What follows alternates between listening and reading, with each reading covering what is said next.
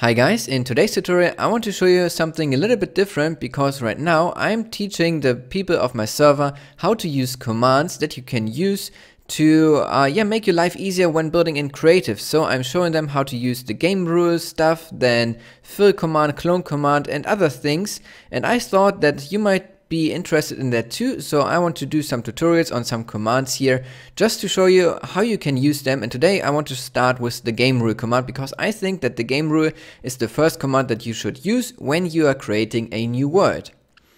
So a game rule is basically a property of your server or your single player world that you can change um, depending on what you want to do in that world.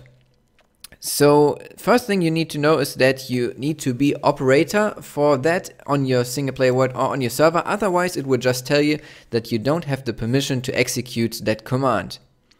Then for ex actually executing the command, you can just use the chat and type in slash game rule. You don't have to type in the complete word because basically every command has a auto completion. So you can just type the beginning and press tab to give you the command. And you could also do like uh, this, just type in GAM, and then if I press tab, it gives me game. If I press tab again, it says game mode or game rule, and of course I want to do the game rule. And if I then press a space and tab, it will bring me all the different game rules that I can change here. So I want to go quickly uh, through most of them because I think that most of them are not quite interesting, but some of them are really useful for you as a builder, as a creative player. So these ones I will um, go into uh, much more detail. But let's just start with the first one, it's the command block output. It is only been uh, needed if you're working with command blocks because if you have command blocks that are doing stuff on a clock, it will spam your chat with commands. And on this example, I want to show you what you can set the game rules to because there's either false or true. So true or false. And true is that it's activated and false is that it's disabled.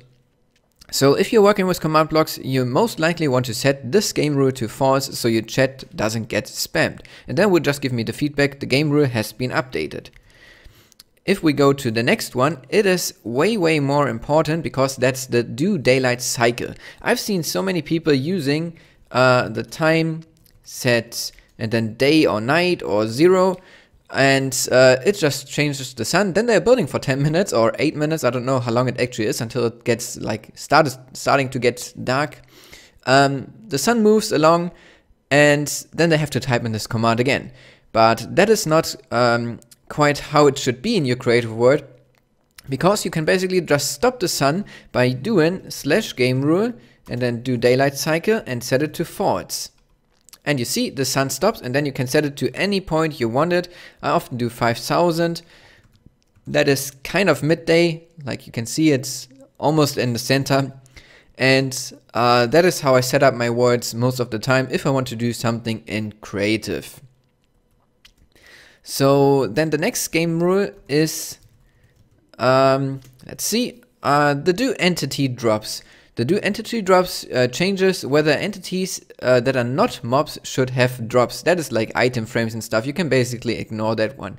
The do fire tick is uh, whether fire should spread and naturally uh, yeah, uh, appear. So that is more for survival, I guess.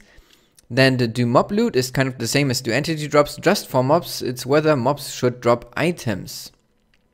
Then do mob spawning is of course whether mobs spawn naturally in your world. So if I change this game rule, uh, do mob spawning to false, and then change the time to something in the night, you can see that nothing spawns here. Let me quickly check what my difficulty here is. Of course, it's just slash difficulty, and then you can, can do 0, 1, 2, or 3. 3 is hard, 0 is uh, peaceful.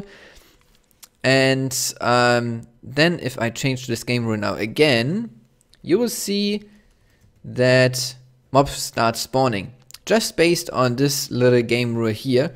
So let me change the stuff back again. And um, yeah, let me also do to peaceful so we don't have the mobs around. Then the next one is game rule. Um, do mob spawning, do tile drops.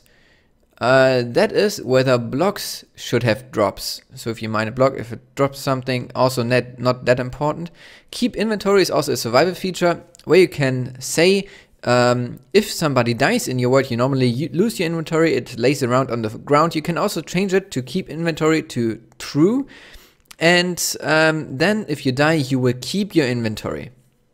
Log admin commands is only for like the server owner uh, because it changes if uh, the admin commands and the command block stuff um, gets logged into the server log and if you're having a lot of stuff going on on a clock you don't want to log admin commands so you might want to set this to false.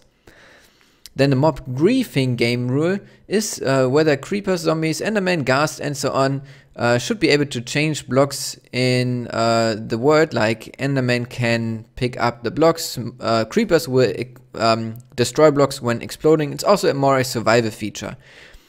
Natural regeneration, of course, you know from your Reador, because there we have it turned off. It changes if you're regenerating your health when having full hunger.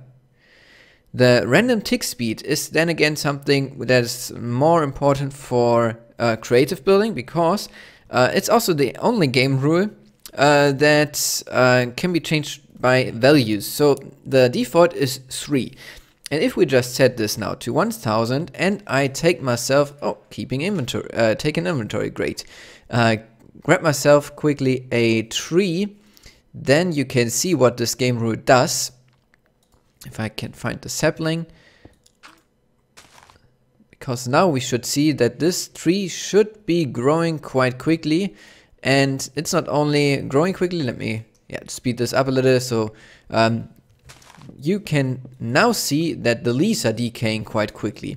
And that is because uh, the random tick speed uh, really, um, yeah, if, you, if I place a few more, ah, there you can see it. So uh, it changes how often a block update is happening. It's not only for trees, it's also for weed and cacti, sugarcane, all that stuff that uh, yeah grows and is based on random um, yeah block um, detecting or yeah the game basically just takes random blocks quite quickly somewhere in the world not only on the floor of course and uh, then checks if it can do something over there and this game rule changes how often that happens and if we speed it up you can quickly for example make a forest and cut down trees really quick get rid of the decaying leaves you don't have to wait you don't have to um, remove them manually so uh, that is quite useful. And if you don't want anything to happen, you can just set the random tick speed to 3, but the default is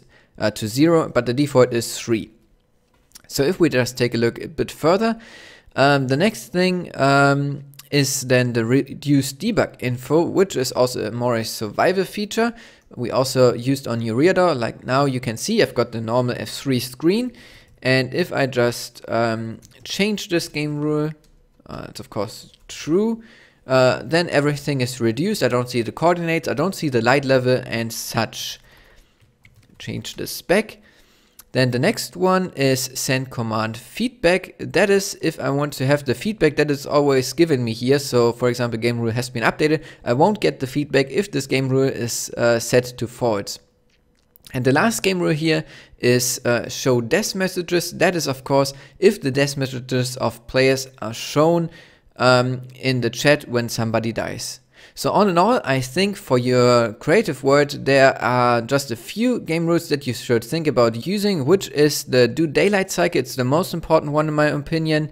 And also maybe the do mob spawning you might want to use. And if you're using command blocks, um, you should uh, change the command block feedback. But the rest is just to play around basically in um, yeah survival for survival Minecraft for a server where you want also to play survival. So I hope that you enjoyed this tutorial on the slash game rule command. If you did, then let me know because then I might want to do some more of these command tutorials and I would like to go into the slash fill command next time because I think that that's a quite powerful command if you want to try something out in creative just to make your life easier when building.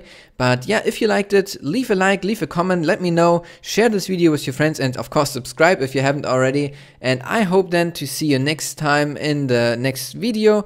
So until then, have a great day. Goodbye.